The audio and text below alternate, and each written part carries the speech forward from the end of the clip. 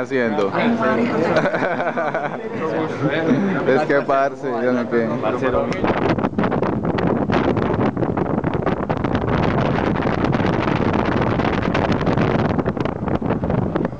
Estoy en Univalle, esto es la Univalle. Eh, detrás de los dos chicos de internatismo, detrás de Milton y detrás de Marcel. Hace una bonita noche en, Cali. Bueno, aquí seguimos celebrando el Día del Internet y compartiendo. Univalle, emisora.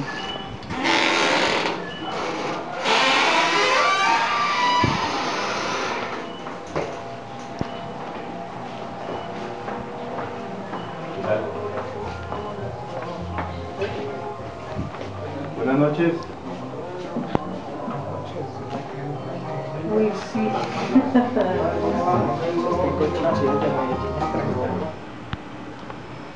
Univalle, emisora Univalle Stereo.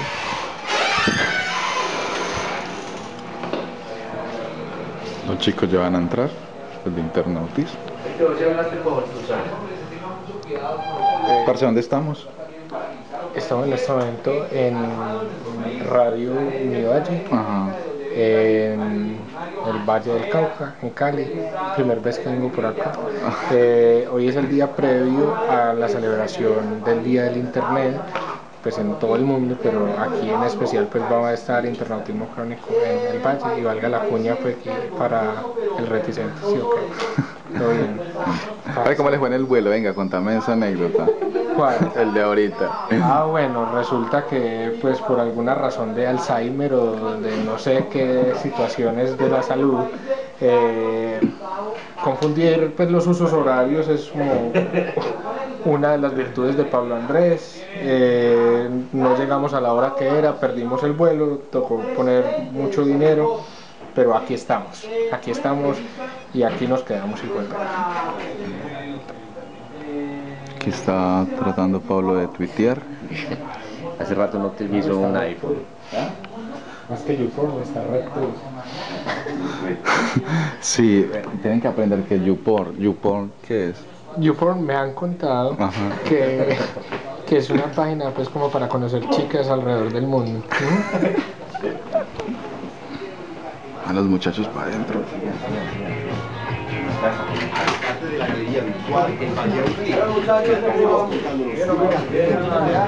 Son muchachos de Internautivo Crónico, le presento aquí a Mario. Bienvenido. Y Bueno muchachos, bienvenidos la gente de Casadoxio. Pues nos tienen unos invitados muy bacanos, gracias a ellos que nos conocimos en el evento de Calle 13 cuando ellos hicieron una eh, como pues se conoció con la gente de Agua Blanca y nos conocimos con la gente de Casa Ocio y pues Radio Macondo pues ya de hecho desde el principio estamos trabajando con ellos y nos han traído dos invitados muy bacanos la gente que le gusta mucho el cuento del internet pues se puede meter a la loca política y pues ahí está dan la loca política ahí están todos los capítulos tenemos a Edwin Mejía que es Edwin Mejía el que está acá y Pablo Pavón bienvenidos Muchachos. ¿qué es la loca política? La Loca Política es una parodia de la ya conocida cosa política eh, de RCN. Ya, Eh, hace, eso salió hace... la que sigue moviéndose. Sí, la que sigue es la que se mueve más. Asqueándome. La loca política sigue jodiéndose. Ahí, ahí, ahí. Sí, sí, sí, comparto. Bueno, la gente de Internatismo Crónico, así es como llama su colectivo, ¿cierto? Son ustedes dos solamente, no hay más socios. Somos cuatro personas, son dos muchachas muy queridas también, que no pudieron venir. Ah, bueno, muchachos, eh, ¿de dónde salió la idea de hacer la loca política? Y menos que porque les causaba, casi como aquí, No, no, les no. La, la idea de dónde salió la cosa, la loca política, pues me imagino que, que está claro. Pero, ¿qué se puede uno encontrar en la loca política? Bueno, pues la loca política en realidad no nació como una serie, quisimos hacer una parodia de, de- como de una situación que estábamos viviendo en ese momento. Luego llegó como la inspiración para hacer más capítulos y más capítulos porque afortunadamente aquí pues material para rajar de los políticos siempre va a haber. Y Ojalá algún día ya no haya. Sí, pero eh, Sería lo ideal, sería como vivir en el paraíso. Sería como una utopía. es lo que hay, es lo que hay, pero por lo menos reír para no llorar. Bueno, ¿han tenido problemas con la, edito- eh, algún alguien de RCN? Hoy mismo los han invitado, los han invitado a RCN a que ustedes salen de la loca política? Bueno, el año pasado RCN nos dio precisamente un premio por reírnos de ellos. En los premios Ettores 2010 nos dieron una placa especial por, por el producto, por la loca política, por sí, burlarnos de ahora, la animación, ¿es complicado hacer esto, esto en Colombia? O sea, porque animar cualquier segundo es caro. Lo que pasa es que hay, hay como varias maneras de mirar la, la animación, pues desde la industria de animación como tal, pues eh, eh, se están haciendo esfuerzos importantes por, por todo el país para, para fortalecer incluso los estudios superiores de esto. Pero como lo hacemos acá es con las uñas, o sea, nosotros mismos cacharreando, aprendiendo pues a manejar el software eh, a través del internet hemos a- aprendido muchas cositas y pues nada, cacharreando, cacharreando lo hemos aprendido a manejar y así ya hemos sacado con las uñas los capítulos adelante. Con las uñas production, ¿cuántas personas están ahí metidas? Pues- Ahorita actualmente, eh, como decía, son dos personas más, son dos muchachas, una eh, de diseñadora y la otra que nos ayuda con la producción de campo eh, cuando hacemos videos pues eh, con personas reales. Y a- en esta semana acabamos de meter a, otro, a otra persona que nos está colaborando con la parte de la web. Porque, valga la cuña, vamos a, a eh, reestrenar la página web que en este momento la tenemos organizando. Ok.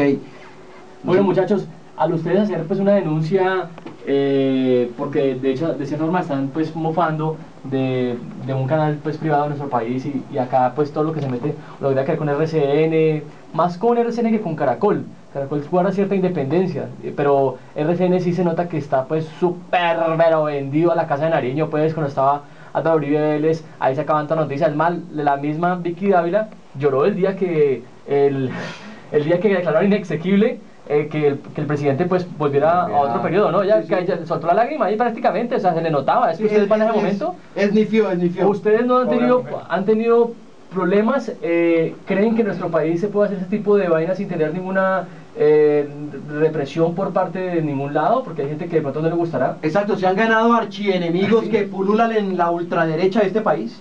Pues eh, las redes como el escenario más chévere para, para poder medir esto porque uno tira las cosas y uno encuentra todo tipo de reacciones, uno encuentra obviamente la gente que comparte y que apoya pues el, el pensamiento que uno tiene, pero también encuentra gente que, que está obviamente en contra y que Uribe es intocable, mi alfa, Uribe no me lo toca.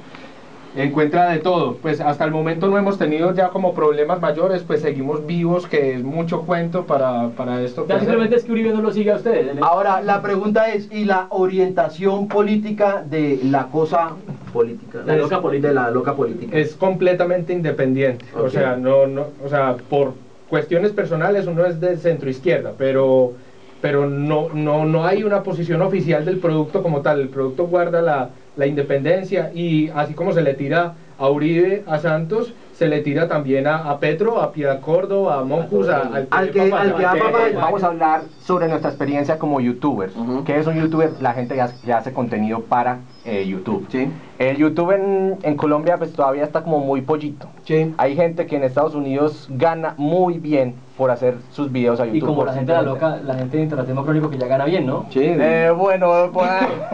Lo, lo, lo, los vemos, lo- los vemos llenos, pregunta, amigo. los vemos llenos de blin blin.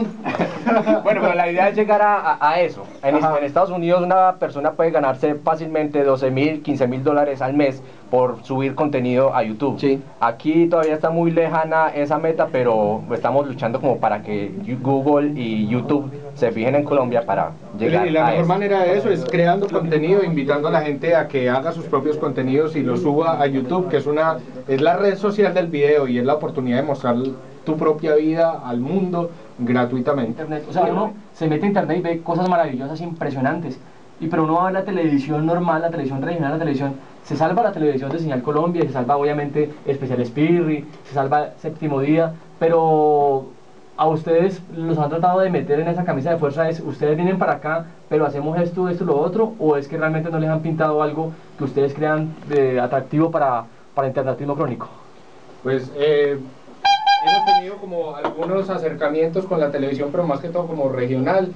Eh, de todas maneras, pues hay filtros políticos y, y lo que nos gusta precisamente es la, la- la independencia, o sea, poder contar lo que nosotros queramos. No, este tema no se toca o de este no se habla o de este, pues para eso en internet pues está la libertad total y eso es lo que queremos aprovechar. Bueno, acá tenemos al señor Álvaro Uribe Vélez en Radio Macondo y está aquí con nosotros con la gente de Alternativa Crónico y de pronto va a decir algo que ustedes nunca esperaban decir porque aquí le hemos tirado harto, harto, harto Álvaro Uribe Vélez, pero aquí está con nosotros el día de hoy. Álvaro Uribe Vélez, bienvenido a Radio Macondo y gracias a la gente de Alternativa No, ¿cuál Crónico que la trae. Hijitos míos, muchas gracias.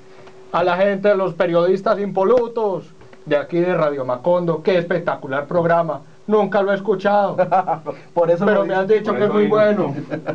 Yo no escucho música de estos terroristas fascinerosos de aquí de las universidades públicas. Ojalá las acabemos todas. Oiga, my president, quiero preguntarle por sus hijos, hombre, es que los hemos extrañado en la pantalla chica. ¿Ya montaron la aerolínea? Porque son para aviones, ¿no? Otra pregunta, amigo. bueno, es la gente de Crónico